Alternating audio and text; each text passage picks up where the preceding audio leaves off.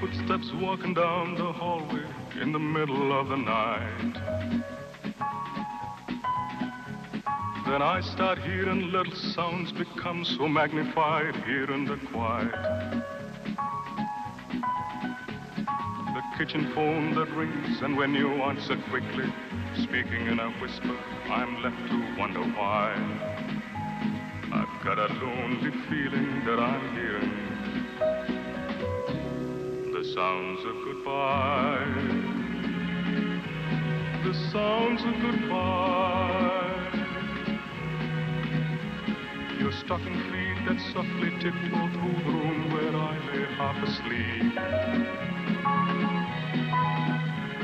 The clinking hands, fumbling hands that close the closet door that always creaks. The snapping latches on the suitcase that you carried with you to your mother's on those weekends many times. I've got a lonely feeling that I'm hearing the sounds of goodbye. The sounds of goodbye.